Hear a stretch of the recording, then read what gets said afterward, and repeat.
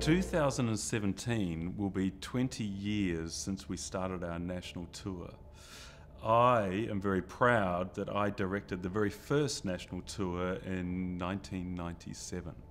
That was when I first had an association with the company, and now, after 26 years, going into 27 years, uh, I'm very proudly the new artistic director of Bell Shakespeare.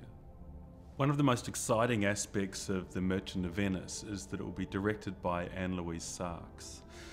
Annie Lou and I have known each other for many years, and I've always loved her great rigour with text in particular. She also has a particularly mischievous sense of humour.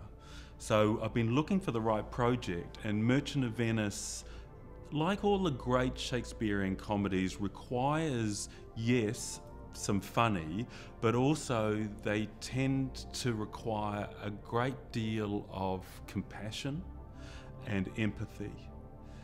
I think Annie Lou's one of the great directors around now, and I'm really pleased to invite her to direct for Bell Shakespeare. The Merchant of Venice centres around a love story. Bassanio wants to woo and marry Portia.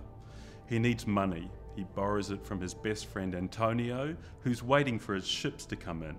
Antonio, in turn, borrows the money from Shylock, a much maligned and abused Jewish moneylender. The play very cleverly centres around the bond. Shylock demands that if Antonio does not pay him the money on time, he can take a pound of flesh from anywhere on Antonio's body. Taken to court before the Duke, Antonio tries to defend himself.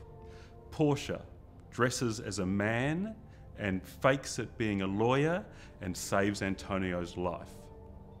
It's a comedy, it's a courtroom drama, it's part fairy tale, and like all Shakespearean comedies, it has a very bitter aftertaste.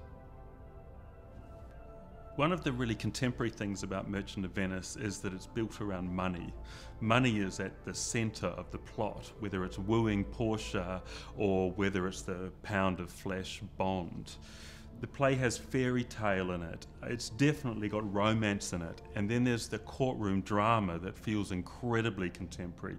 It could be coming off HBO now this mix of genres, I think, makes it fascinating. That yes, it's a comedy, yes, it ends with weddings, but it's also a quite extraordinary drama.